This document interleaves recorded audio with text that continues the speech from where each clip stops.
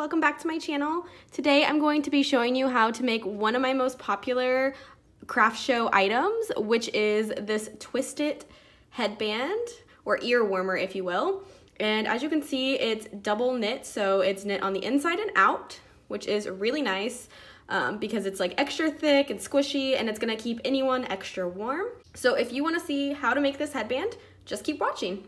Okay, for this project, you're going to need some Scarfie yarn. This is by Lion Brand and it is a weight 5 bulky yarn. This is 78% acrylic and 22% wool. So it's really nice and soft.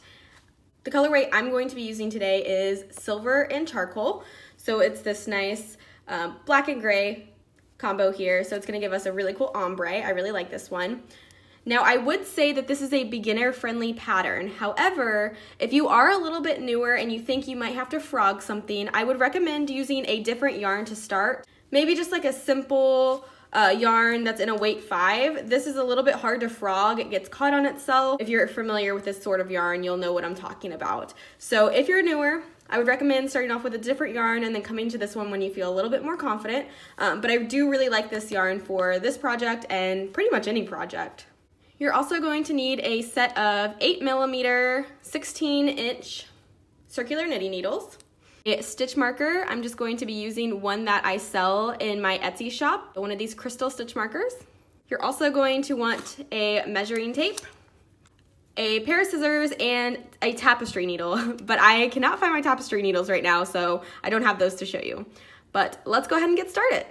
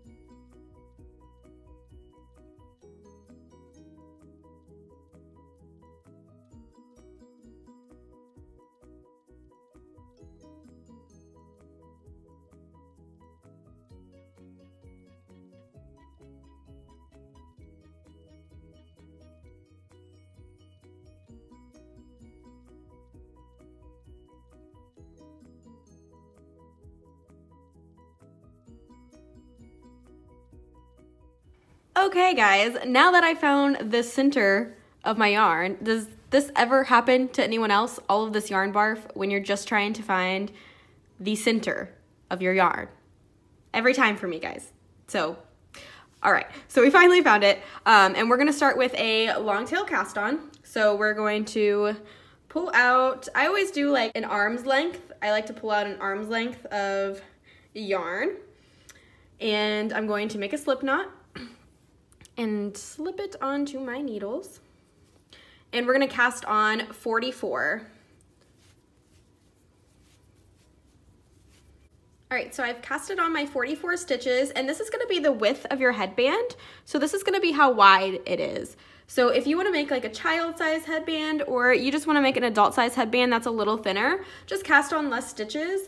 Um, you may need to switch to double pointed needles if you do less stitches. Just be aware of that because as you can see, the 44 stitches is a pretty tight squeeze on here, but we'll make it work. That's what this is going to look like. So you wanna make sure your stitches are not twisted and we are going to join in the round. Now you can go ahead and slip the first stitch. I don't usually do that. I usually just go straight into knitting. So I'm going to slip on my stitch marker to show me where the beginning of the round is. Now this isn't necessarily super important because we're not gonna go by how many rows, we're going to measure in inches how long it is. Um, so just go ahead and attach your stitch marker if you want one and then we're just gonna start knitting. I also wanna mention that you wanna leave a pretty long tail because we're gonna use this at the end of the pattern to sew up the end of our work. But I'm also going to go ahead and use that in addition to my working yarn and knit the first stitch just to make sure it's pretty secure. And I'm going to knit the second stitch as well with that, and then I'm going to drop the tail. So for this pattern, we are going to knit all the way around until our piece measures 19 inches in length. So I'm going to knit every single stitch. So once my piece measures 19 inches in length, I'm going to come back to you and show you how we finish up the headband. Now, if you wanna make a child size headband or a larger adult headband or smaller adult headband, all you need to do is know the circumference of the head that you're making it for. So if you're making it for a child, go ahead and measure their head, or if you have a chart that tells you a general idea, if you're making them for craft shows, um, go off that. And I like to make it about an inch or two shorter than what I actually want it to be, just so it's gonna be snug and it's gonna fit really nicely on the head and not fall down over your face. So go ahead and knit the length that you're needing for the size headband that you want. For me, like I said, I'm making an adult size, an adult woman size headband. So I'm going to do 19 inches of straight stockinette and then I'm gonna come back. So I've finished my 19 inches of stockinette in the round and I went ahead and casted off all of my stitches as normal and I left a really long tail so we can finish off the rest of our headband. So something I really like about Scarfie is the gradual like color changes here, but sometimes you get unlucky and they like cut it and tie the new color and you get this really annoying seam. So that's why it looks like that, but normally Scarfie is really pretty and fluid as you can see in this headband here. So what we're gonna go ahead and do is take that long tail and we're going to sew up the end of our headband. I've gone ahead and done it to this side already so you can see that it's closed up. So we're just gonna go ahead and do a basic stitch to close this up. You could even use a crochet hook to do this step if you prefer. Um, but I'm just gonna go back and forth. This is just to keep my seams together and even. I'm gonna go ahead and finish sewing up the top of this one and I'll come back to you to show you how to finish it off. All right, so I finished sewing up the last side of my headband and now we're going to make the twist and we're gonna seam. So the way I like to do my twist is I just take one side and fold it all the way around like so. And you're gonna get that nice tur turban twist in the front and then you'll kind of just bring the two ends together like so. I'll show you one more time. If you lay your piece flat, you can take your top left corner and just fold it to make it the bottom left corner. And then you will just fold it in and connect the sides. And now we're going to use a mattress seam to seam up the two ends. So I'm going to take that same tail I was using and I'm gonna go on this side the first stitch, back under this side. And there's more in-depth videos you can find on doing a mattress seam. Um, this is just how I like to seam my headbands because I think it's the most seamless look.